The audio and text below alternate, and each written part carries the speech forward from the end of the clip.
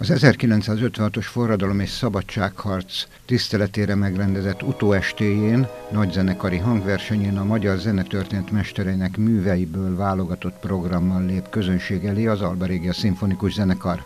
Az ünnepiest karmestere Hamar Zsolt Lisztdias érdemes művész hangsúlyozta, az elmúlt időszakban Beethoven Egmont nyitánya volt az a dallam, amely meghatározta nemzeti ünnepünket. Október 23-a azon ünnepeink egyike, amelyek, amelyik nagyon erősen kötődik bizonyos dallamokhoz, hiszen tudva levő, hogy, hogy azokban a borzalmas, de egyszer, mint azokban a gyönyörű napokban a, az akkori, akkori rádió Beethoven Egmont játszotta egy, állandóan egy, egy folytában, úgyhogy nekünk egyébként magyaroknak a, a Beethoven Egmont nyitány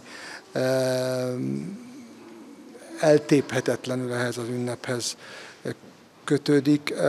Ennek ellenére mi ezt most nem fogjuk játszani ezen a koncerten. Az idei ünnepen az első részben két lisztmű, a Le Prelude, szimfonikus költemény és az Ádur zongora verseny hangzik fel, majd Erkel Ferenc reprezentatív ünnepi nyitánya következik.